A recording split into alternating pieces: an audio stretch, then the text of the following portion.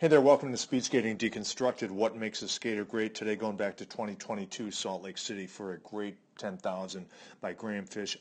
In our estimation, one of the greatest 10,000 meters ever skated. The only person to skate faster than Graeme Fish is Nick van der and we know he's he, he became a god very fast. And um, Graeme Fish has the race of his life here for several reasons. Even laps to negative split, you always want to have that in a distance race. Excellent track pattern, perfect skating technical timing and efficiency, very minimal movements. You only do what you need to do, especially in the distance races. And then he builds into the race and goes a half second faster at the end of the race than he does at the beginning, which is called negative splitting. So it's all right there in this great effort. I'm going to jump around in the race here as we show you um, what happens.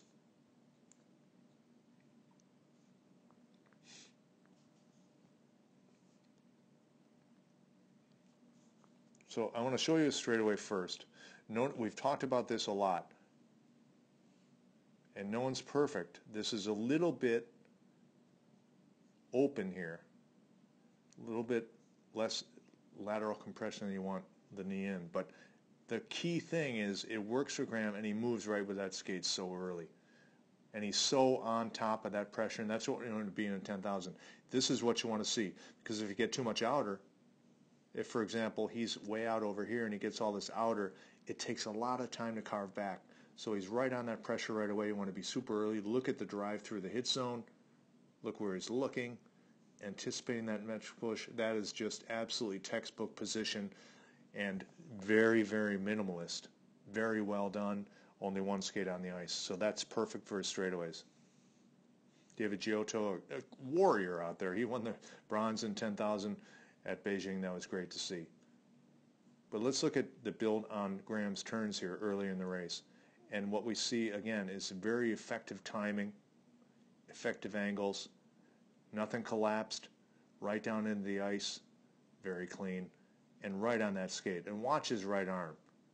Early reversal means minimal movement, nothing extra, nothing wasted. Let's move later in the race. I want to show you how his technique does not decay at all. He's just jamming this whole race, building on Giotto.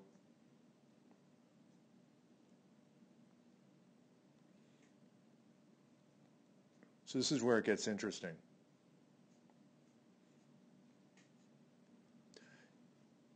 This lap is a 30 point 09. And he gets faster from here.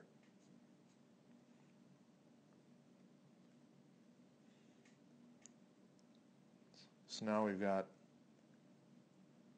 29.5, and that's with four laps to go. So 9.5 with four laps to go after you're doing, doing 30 flat. Look at that again, 9.5. He's got four laps to go on 10,000. That says he's great.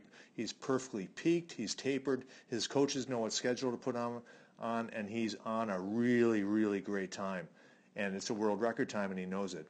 But again, the technique is not decaying at all.